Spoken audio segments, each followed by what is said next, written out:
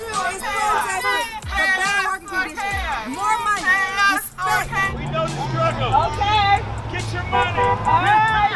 All right. We selected Prime Week to be the week that we do the strike because this is where it's gonna hit them. Because Prime Day is of no benefit to us and a benefit to the company. We have mandatory extra time that we're forced to work at no bonus to us and higher volume that we have to process. Normal volume on a regular day is between 50 and 60. On a prime day, we're easily up over 70,000 packages per day. They first off announced the Prime Week out of nowhere, unexpectedly.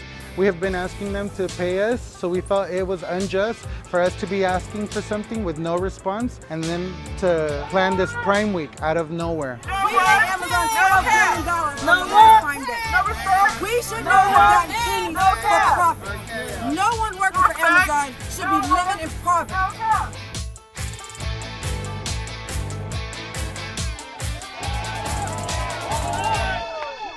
Workers in San Bernardino are setting the president for America, for the world. We're on strike because we had asked Amazon for a $5 raise, and we had given them to the 10th of October to come through.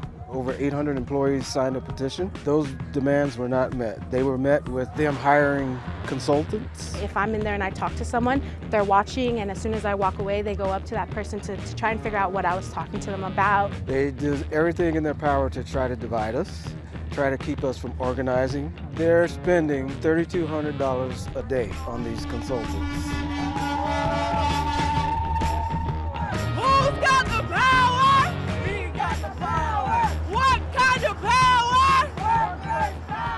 Walking out today for the safety related concerns that we constantly have. The belt goes so fast. There's so many packages on the belt. You don't have any place to move the packages so they fall on the floor.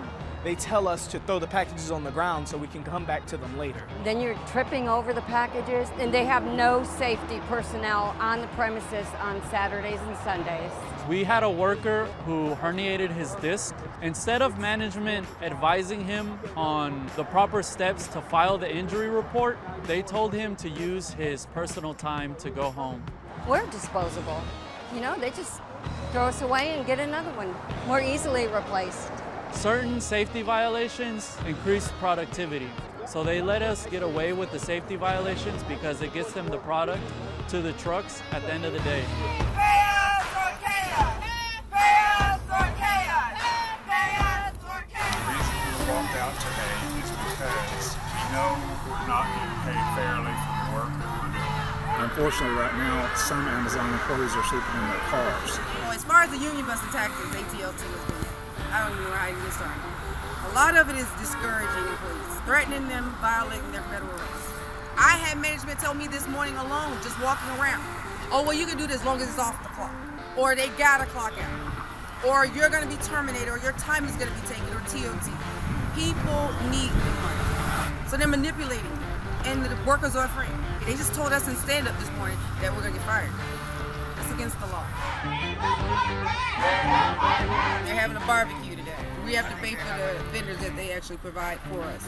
They want the workers to try to forget about this and all the problems that we have and this real issue.